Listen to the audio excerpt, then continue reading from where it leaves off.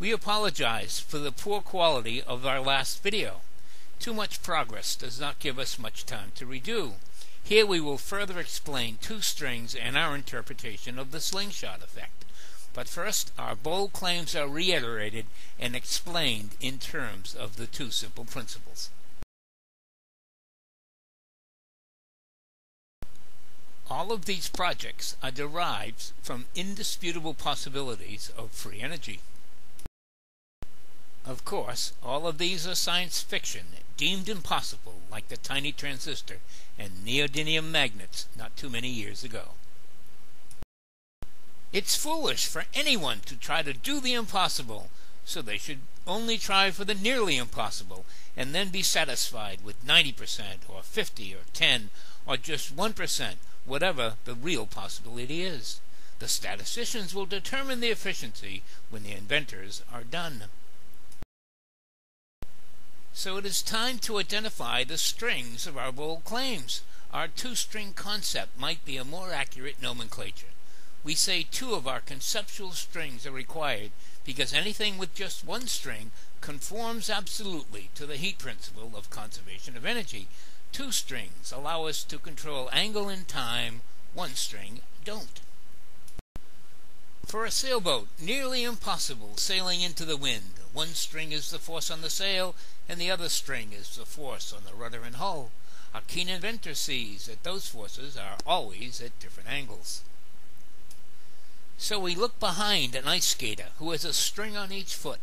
Both the different angles and the different times are hard not to understand when seeing the marks he has left on new ice.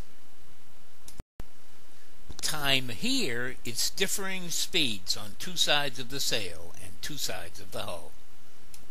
And time is the secret of all slingshot effects, including diving boards, kangaroo, bullwhips, and lightning.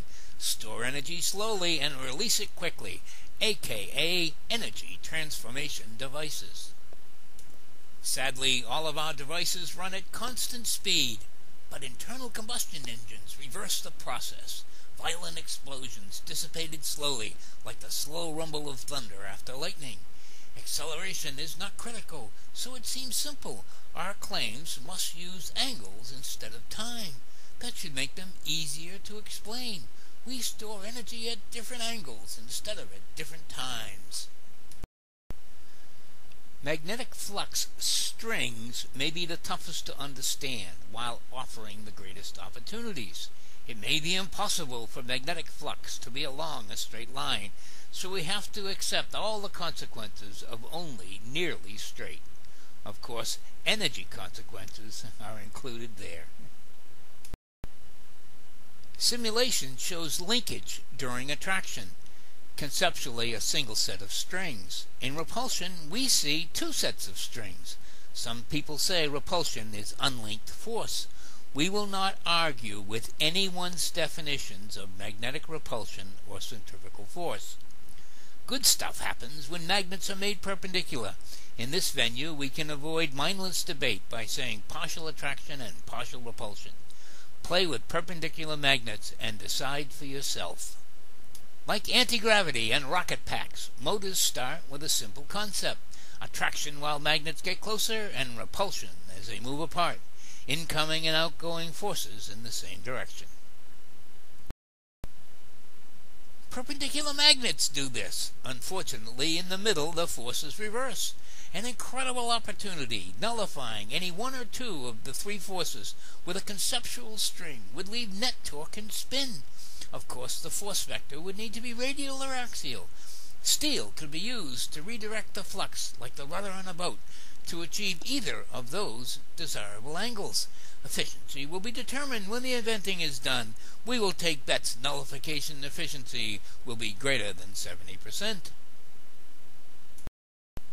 The steel added to ceramic magnets here enables these hybrid magnet assemblies with asymmetric fields to nullify perpendicular magnet forces.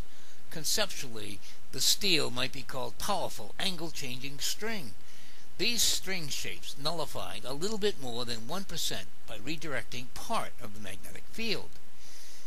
The nullification efficiency here was measured between 10 and 20%, depending on a critical gap. the free energy principles have evolved so quickly that radial energy storage devices using components similar to these could have 80% efficiency. Inventing could be done when we win the bet. This slingshot effect is based on straight gravitational strings, more approach than depart time, and a huge difference in masses. Conceptually, it could be viewed as a transformation of angle and energy.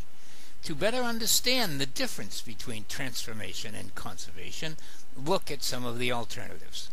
What if the satellite and planet were the same size? What if gravity was repulsion rather than attraction? Our magnets are the same size, and repulsive magnet energy, with its two strings, is the only thing we foresee ever making it to the already invented list. Let's find out.